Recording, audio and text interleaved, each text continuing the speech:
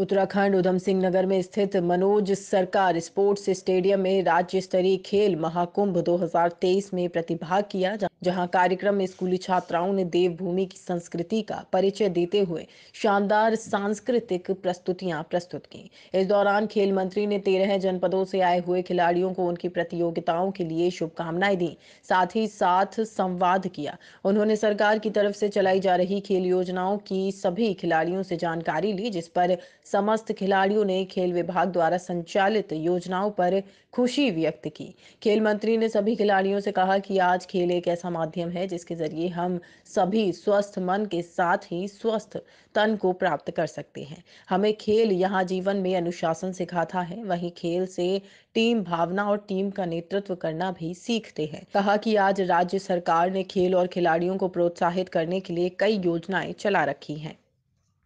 तो लगातार खिलाड़ियों के भविष्य को सुरक्षित रखने के लिए, प्रदेश में खेल के वातावरण को डेवलप करने के लिए लगातार सरकार निर्णय ले रही है। मैंने दो योजनाएँ गिनाएँ जिसमें एक उद्यमान उन्नयन है, दूसरा उसमें खेल प्रोत्साहन है, जिसमें आठ से चौदह चौदह से तेईस वर्ष तक के बच्चे उसमें कवर होते हैं, लगभग आठ हज़ार बच्चे इससे लाभ ले रहे हैं। इसके अतिरिक्त जो उनके प्रशिक्षक हैं, यानी कि कोचेस हैं, उनका मानदेय भी सरकार ने एक सम्मानजनक मानदेय उनका राज्य बनने के बाद से लेकर पहली बार 2022 में हम हमारी सरकार ने करने का काम किया है। और एक महत्वपूर्ण फैसला, जो आउट ऑफ़ टर्न जॉब है कि हमारे बच्चे जो है, जब मेडल लेकर आते हैं तो उनका सम्मान, आखिरकार उनके भविष्य को सुरक्षित रखने का काम कैसे हो?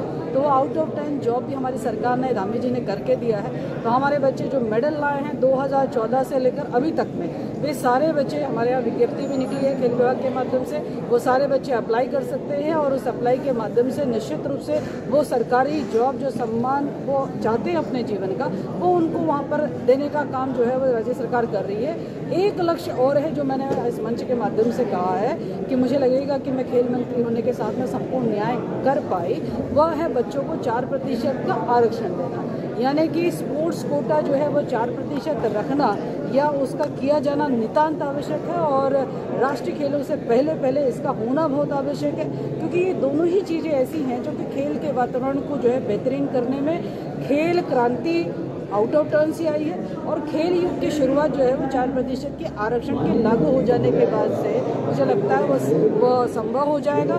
तो मेरे उत्तराखंड में अब यह परिचय कि देवभूमि में सैन्य भूमि हिमालय की भूमि अन्य अन्य प्रकार से देवियों की भूमि इस तरह से आता है। और मुझे लगता है यह वो समय दूर नहीं, जब हम चार प्रतिशत का जब आरक्षण लागू कर देंगे तो निश्चित रूप से हमारे उत्तराखंड में जो है